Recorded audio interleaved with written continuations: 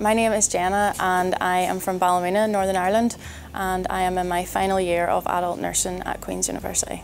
I would recommend Queen's and I would also recommend adult nursing to anybody that feels that they want to care for people and that they have the determination to really go for it. I have made friends for life in this course. They say it on the first day, it sounds cheesy, but it is so true. The course is split 50-50 in that 50% is in university, attending lectures and tutorials, and then the other 50% is out on clinical placement.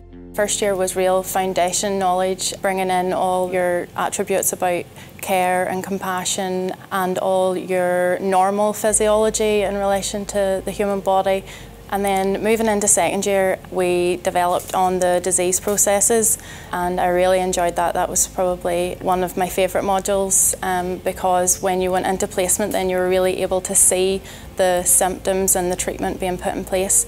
Final year, which I'm in now, is all about law and ethics and really bringing together your knowledge and putting it into practice.